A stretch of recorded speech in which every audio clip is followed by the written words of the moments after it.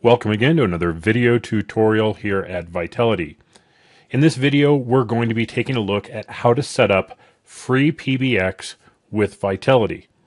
Now, free PBX is the heart and soul of a number of different PBX platforms, whether it's the free PBX distro, Elastix, PBX in a Flash, or others. So if you understand how to use free PBX, by itself, you can easily set up any of those other platforms. So first, we have to create our inbound and outbound routes, and we do that by starting off on the Vitelity side with our sub accounts. So what I've done is I created a PBX in and a PBX out. So I have an inbound and an outbound route. And we definitely want to do this to make sure that all of our calls are routed properly. And then you also want to go to your DIDs and make sure that those DIDs are pointed to your inbound sub account. Uh, once we have the sub accounts in place, now we can go over to FreePBX and get it configured. Now, notice on the sub accounts that the login and password are right there. That is the name of the sub account and the password. Those are the credentials that we're going to use. So we'll go over to the free PBX side and we're going to go to connectivity and go to trunks.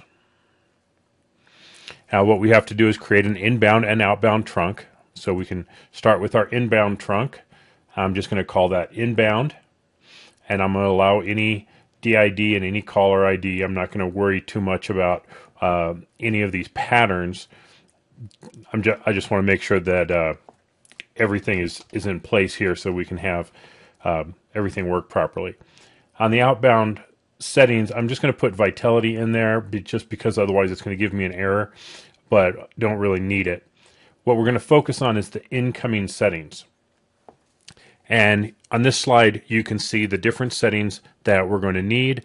Again, we're going to need our sub account login, our sub account password, and the inbound server that we're going to use from Vitelity. Now, if you don't remember what that is, go back to your Vitelity portal and at the very top of the page, it's going to tell us what those inbound and outbound routes are. Uh, right there, inbound 27 is what's assigned to me, so that's what I need to use. So I'm going to take that information and put it in here. So type equals friend, DTMF mode equals auto, username equals my sub account for my inbound route, secret is my sub account password, context equals from trunk, insecure equals port comma invite, can reinvite equals no, host equals my inbound server dot vitelity.net. Yours may be different, so make sure you double check that. And then you have to have your register string, which is your sub account name, colon, sub account password at your inbound server, colon 5060. And then make sure you submit those changes. And then we need to create an outbound route so I'm going to create Vitelity Outbound here. My trunk name is Vital Out. Uh, type equals friend. DTMF mode is auto. Host is always going to be outbound.vitelity.net. Username from user are going to be my sub account passwords. Uh, trust RPID is yes. Send RPID is going to be yes. Secret is my sub account password. Allow equals all. NAT equals yes. Uh, that may vary depending on your network configuration. Can reinvite equals no. And then we don't have any other settings down here. Now we do need to create some dial rules.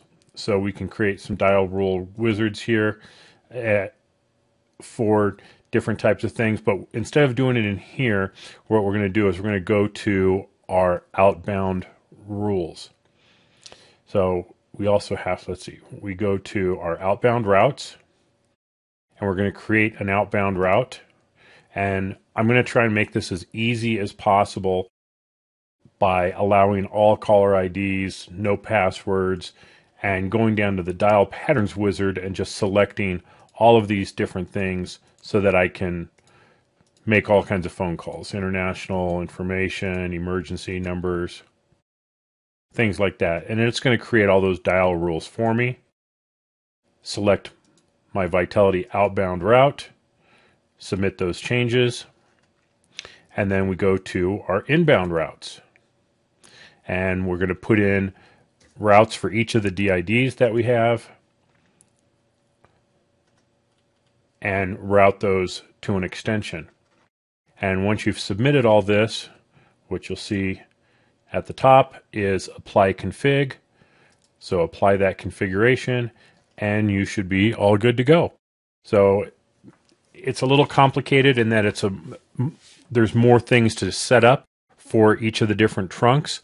Follow those slides that I showed early on. Make sure that you have all the correct information, and then you should have very little problems getting free PBX up and running on any of those platforms. Like I said, free PBX, Elastix, or PBX in a flash. So, thanks for watching. We'll catch you next time. Bye bye.